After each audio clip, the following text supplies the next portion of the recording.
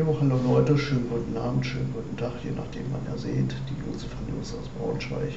Unser heutiges Thema ist, äh, warum es keine unabhängige Presse bei uns gibt oder warum die Presse nicht unabhängig ist. Äh, wir haben ja im Prinzip zwei größere Zeitungen, das ist einmal die Neue Braunschweiger und äh, die Braunschweiger selbst. Beide Zeitungen sind auf Werbeaufträge angewiesen, das heißt Werbung, die äh, wo sie eben Annoncen schalten und und und. Ähm, vor allem die Braunschweiger Zeitung ist da darauf angewiesen. Einer mit der größten Werbeträger ist zum Beispiel VW, aber auch die Stadt Braunschweig. Daher kann eine Berichterstattung, eine unabhängige Berichterstattung gar nicht stattfinden. Ganz einfach, wenn Sie also nicht so schreiben, wie Sie schreiben müssen, fallen Ihnen die Werbeaufträge weg. Das heißt, es wird gesagt, entweder ihr schreibt das so, wie wir das wollen, oder es ist Schicht im Karton, dann kriegt ihr keine Aufträge mehr. Dann können sich natürlich auch nicht mehr die Gehälter zahlen. Und wir haben es ja hier, dass äh, dann nachgerutscht wird.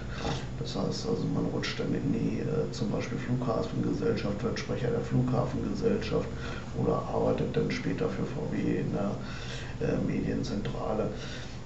Das sind die Abhängigkeiten und äh, wenn man in den historischen äh, Teil guckt, also so um die äh, Zeit, wo hier der Onkel aus Österreich hier war, da wird also auch schon in Geschichtsbüchern geschrieben, dass ja, die Presse hier eine, ähm, ja, eine Parteizeitung oder eben geneigt war, dem äh, NS-Regime äh, zu dienen.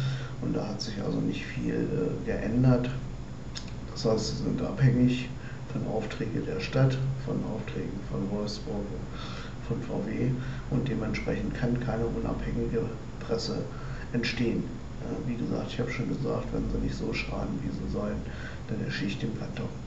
Äh, sieht sowieso übelst aus durch äh, Medien, Internetmedien, wie auch hier mal eine Nachrichtensendung fallen natürlich ähm, die Werbeaufträge weg. Ne? Es sind viel, äh, immer mehr Leute, die die Zeitung nicht lesen, weil sie eben einseitig äh, schreibt. Dadurch bildet sich eine, eine Schraube nach unten, die immer weiter fortgetrieben wird. Und äh, wie gesagt, man steht ja schon in der Stadt und verschenkt die Zeitung in der Hoffnung, dass einer ein Abo nimmt. Ähm, und äh, es sind immer weniger, die die Zeitung wirklich lesen wollen. Äh, man versuchte dann eben auch äh, oder übers Internet, die Internetseite Newsclick oder eben mit Videos zu arbeiten, wie ich das auch schon mache. Äh, inwieweit das angesehen wird, ja, vielleicht mehr Klicks wie ich habe, weiß ich nicht. Dass immer, da immer mehr noch drauf gucken. Ich gucke ja auch ab und zu drauf. Aber die Zeitung selbst als Printmedien hat im Prinzip verspielt. Und das wissen sie auch. Ähm, wie gesagt, deswegen werden eben Annoncen geschaltet oder eben, dass man mich als Pranger TV an, an prangert sozusagen oder eben so schreibt, wie es der Bürgermeister oder die Stadt Braunschweig möchte. Ja, ich habe dazu natürlich einen kleinen Film gemacht, um euch das mal zu zeigen und ich würde mal sagen, Film ab, bitteschön. Euch hier mal zeigen, warum die Braunschweiger nicht unabhängig berichten kann vom Flughafen. Ihr seht hier, hier ist Werbung drauf von der VW Bank. Ja. Und die Braunschweiger Zeitung ist nun mal leider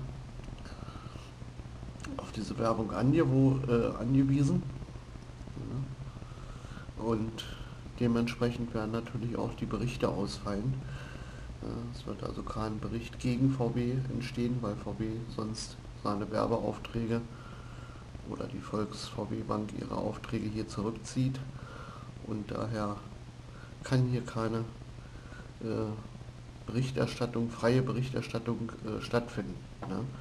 Man hat zwar noch andere Werbeträger wie hier Buhl und äh, kleinere, aber VW dürfte hier, äh, was Inserate angeht, mit Sicherheit einer der größten Kunden sein, der Braunschweiger Zeitung und daher kann eine Berichterstattung, ob es jetzt über den Flughafen oder die Stadt ist, wo VW mit beteiligt ist, gar nicht stattfinden, weil VW würde sofort die Aufträge zurückziehen und hier sind zwar Berichte drin über die Stadtwerke in Wolfsburg, man berichtet zwar sehr gerne von außerhalb, aber eben nicht äh, innerhalb dieser Stadt.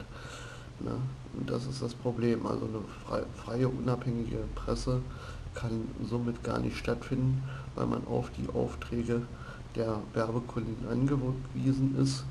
Die Printmedien gehen sowieso zurück, das wissen wir allgemein, weil viele Leute holen sich ihr Wissen eben aus dem Internet, äh, weil es vielfältiger ist und eben wie gesagt äh, teilweise auch von freien äh, Journalisten oder eben privaten Journalisten oder eben Hobbyjournalisten oder wie man so alle nennen will, die berichten, ob jetzt die Berichte gut oder schlecht sind, aber man kriegt äh, eine Vielfalt mit und die ist hier eben nicht gegeben, weil eben auch die Braunschweiger Zeitung eben angewiesen ist auf diese Werbeverträge von der VW.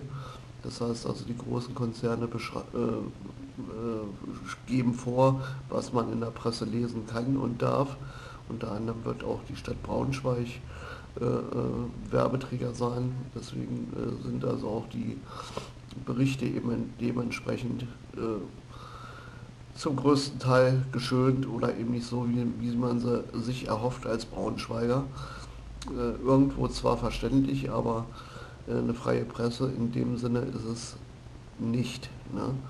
Das ist das Problem. Es ist also keine unabhängige Presse mehr und äh, das betrifft jetzt nicht nur die Braunschweig, es betrifft also manche andere Regionalzeitung auch, die eben davon betroffen sind, dass sie eben auf diese Werbeaufträge der Stadt oder eben größerer Konzerne, die vor Ort sind, angewiesen sind. Und wenn sie nicht so berichten, wie sie eben berichten äh, sollen, dann äh, ist ruckzuck Schicht und dann fallen die Werbeaufträge weg und dann können sie ihre Zeitung komplett zumachen.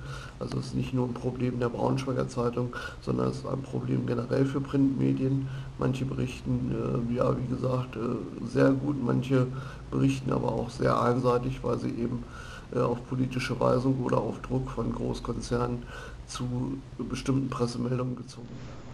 Tja, dazu kommt eben noch, dass man sich also schöne Jobs erhofft in der Industrie oder eben äh, in der Stadt oder was weiß ich, dass man da reinrutscht und daher ähm, schreibt man, sind dann manche eben übereifrig oder ähm, ja, wir haben auch festgestellt, dass also selbst die eigenen Berichte gefälscht werden und das ist äh, mit freier Presse, unabhängiger Presse hat das nichts zu tun. Es gibt noch äh, Medien, die frei und äh, frei entscheiden, aber im Großen und Ganzen sind sie abhängig, ne? abhängig vom Staat. Also Pressefreiheit ist eigentlich ja, Augenwischerei für den Leser, zumindest was hier die Braunschweiger angeht. Ja, soweit, so gut von den Lucifer News über die ja, unabhängige Presse hier in Braunschweig. Bleibt schön sauber, bleibt trocken, damit wir uns bald wiedersehen zu den nächsten Lucifer News. Ciao.